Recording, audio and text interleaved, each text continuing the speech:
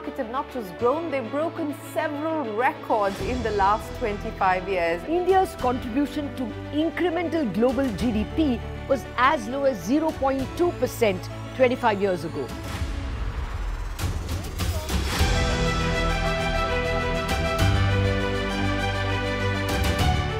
The last 25 years, CNBC TV18 has closely followed the remarkable ascent of India's pharmaceutical sector. There was a time 25 years back that it was all about the FIIs.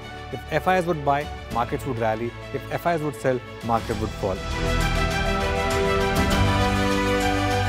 Earlier, we were net importers of steel. From IT services to SaaS, from consumer electronics to space tech, from mere programming to AI ML. Cars, two-wheelers, three-wheelers, commercial vehicles have significantly become much more expensive than they were two decades ago.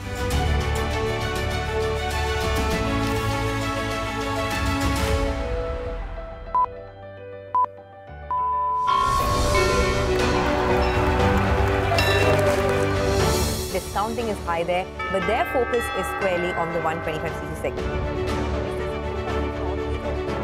Now it is contributing 16% of incremental global GDP. Now we are looking at exporting the steel that's made here in India.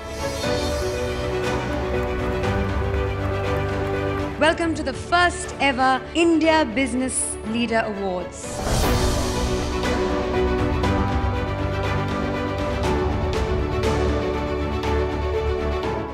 Cars, two-wheelers and vehicles generally being manufactured today are much lower on emissions and much higher on safety. India's technology industry has been at the forefront of cutting-edge innovation over the last 25 years. It's the retail which is the driving force for the market right now. Clearly, we have arrived on the global economic stage.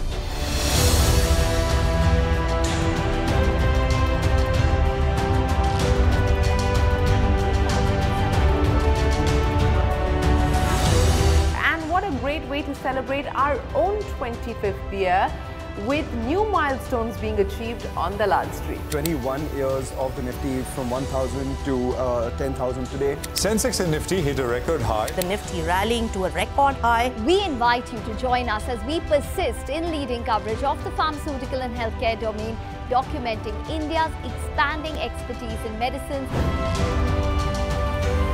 25 years of excellence and unparalleled growth.